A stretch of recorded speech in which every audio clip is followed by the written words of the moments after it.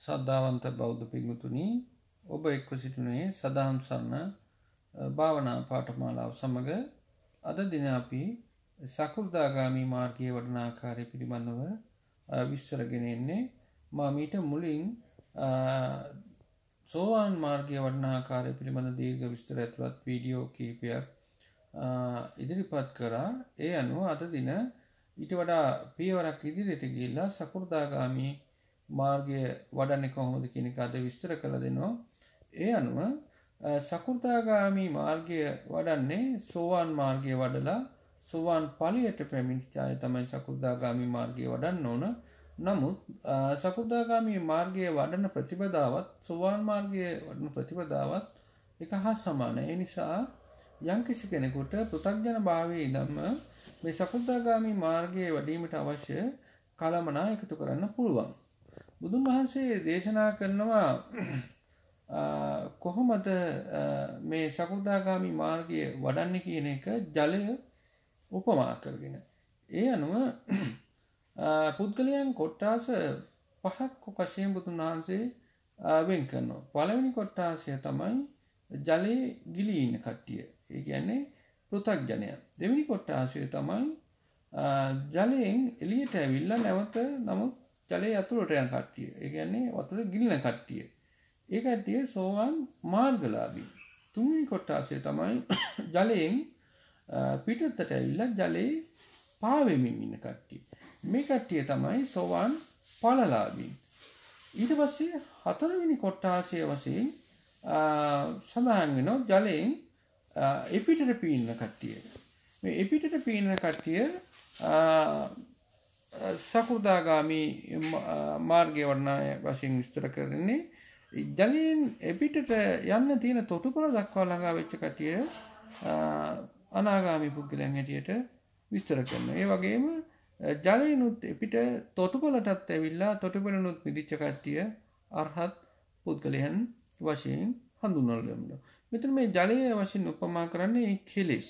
ඒ අනුව යංකිසි කෙනෙක් කෙලෙසින්ගෙන් මිදීමේ මාවතේ යම්තායක් දුරක් ගියාම තමයි සකෘතාගාමී මාර්ගය වැඩීම සිද්ධ වෙන්නේ අනුව මොකක්ද මේ කෙලසුන් ගෙන් නික්වෙන මාර්ගය.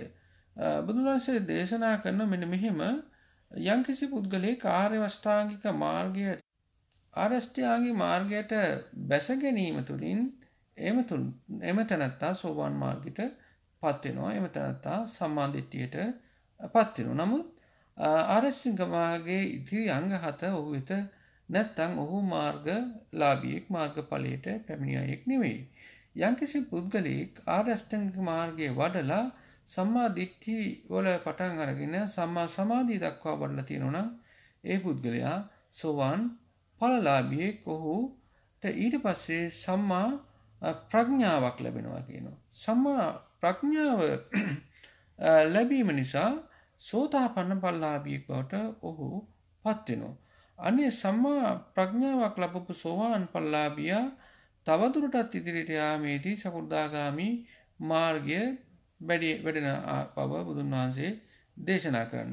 මෙතනදී සකුර්දාගාමී මාර්ගය වඩන ආකාරය බුදුන් වහන්සේ දේශනා කරන මෙන මේ ආකාරයෙන් මේක හොඳට මතක තියාගන්න ඕන මේක නිතරම සිහිපත් කිරීම සුදුසුයි ඒ වගේම මේක තැන් තැන්වල නිතර සඳහන් වෙන්නේ නෑ මෙනි මෙයාකාරෙන් සකෘතාගාමී මාර්ගය වඩන්නේ රූප වේදනා සංඥා සංකාර විඤ්ඥාන කියලා පංච උපාදානස්කන්දය තියෙනවා. මෙන මේ පංච උපාදානස්කන්දයේ හට ගැනීම අභාවය.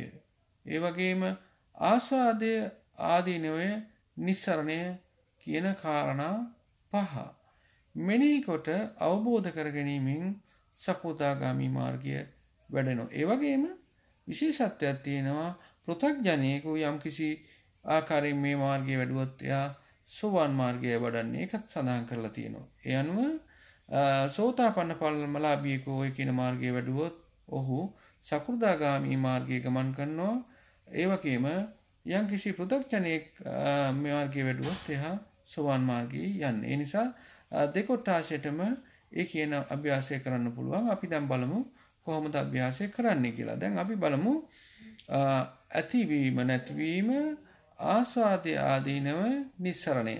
ඔන්න ඔය කරුණු පහයි හොයන්න තියෙන්නේ රූප වේදනා සංඥා සංකාර විඥාන. දැන් අපි බලමු රූප කොටාස. උදාහරණයක් වශයෙන් දැන් ඇහැට අරූපයක් හැදෙනවා. කනට සද්දයක් ඇසෙනවා. එතකොට ගඳ සුවඳ දැනෙනවා. මේ ඔක්කොම රූප කොටාස.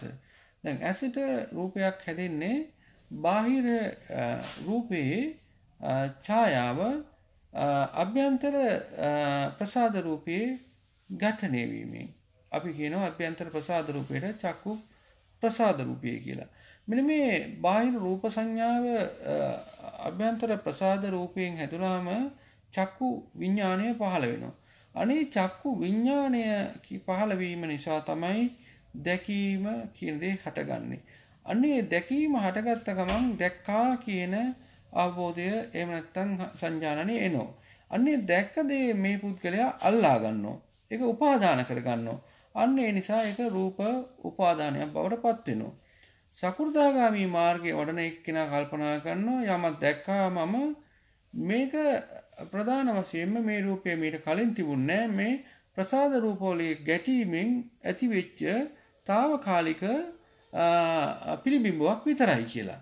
ඇයි නිසා ඇතිවීම නැතිවීම කියන දේ පහසුවෙන් ඔහු අවබෝධ කරනවා මේ ප්‍රසාද රූපයේ ගැටීම තාවකාලිකයි නැති වෙච්ච ගමන් නැති වෙනවා කියලා. ඒ වගේම ආස්වාදය. ඒ කියන්නේ දැන් මේකෙන් සුඛ දුක්ඛ සහ උපේක්ෂා කියන ආකාරයේ තුන් ආකාරයේ දැනීම් ඇති වෙනවා. එයින් ආස්වාදයක් ඇති වෙනවා ඒ වගේම මේ දේවල් වලින් ආදීනව හට ගන්නවා. රූපේ ආදීනව බුදුන් වහන්සේ මේ ආකාරයෙන් විස්තර කරනවා යම්කිසි කාන්තාවක් ඉන්නවා. ඒ කාන්තාව 16 වීති. මේ 16 වීති කාන්තාව දකිනකොට යම්කිසි පුද්ගලයෙකුට හිතෙනවා මේ කාන්තාව ලස්සනයි මම ගෙදර ගිහින් තියාගන්න ඕන කියලා. අන්න එහෙම හිතලා මේ තැනත්තා ආස්වාදය ගැන හිතලා ගෙදර තියන් තියාගත්තම මේ කාන්තාව අනුක්‍රමයෙන් වයසට යනවා. වයසට ගිහිලා අවුරුදු 80ක් වෙනවා. 80 ඇති මහල්ලක් මහල්ලක් වෙනකොට මේ තැනැත්තිය අරගෙදර ඉන්න කට්ටියටම එපා වෙනවා. ඔන්න එපා වීම ආදීනයක්. එතකොට රූපය හොඳයි කියලා ලං කරගත්තා ලං කර ගැනීම නිසා ආදීනවයත් ලං කරගත්තා. ඒට පස්සේ අපි කල්පනා කරනවා නිස්සරණය. මොකද මේ නිස්සරණය ගැන මේකින් සරණක් නැහැ. ඒ කියන්නේ සරණක් නැහැ කියන්නේ මේකින් මට වැඩක් නැහැ කියලා අවබෝධයක් ඇති වෙනවා. මෙන්න මේ ආකාරයෙන් රූප වේදනා සංඥා සංකාර විඥාන කියන පංච උපාදානස්කන්ධයන්ම විදර්ශනාවට ලක් කරන්න ඕන ඒක තමයි සකුදාගාමි මාර්ගය. අන්න ආකාරයෙන් විදර්ශනාවට ලක් කරාම ප්‍රධාන වශයෙන්ම එනවා විශේෂ ඥානයක් ඒක යථාභූත ඥාන දර්ශනය. ඒ කියන්නේ මේ ද්‍රව්‍යයන්ගේ කොට්ටාසයන්ගේ තියෙන මායාකාරී ස්වභාවය දැනගන්නා අවබෝධ කරගන්නා නුවණ. යථාභූත ඥාන දර්ශනයෙන් නිබ්බිතා විරාගය ඇති වෙනවා. ඒ කියන්නේ මේ සංසාරයේ ඇල්ම නැති සංසාරයේ නික්මිල යන්න කැමැත්ත ඇති වෙනවා.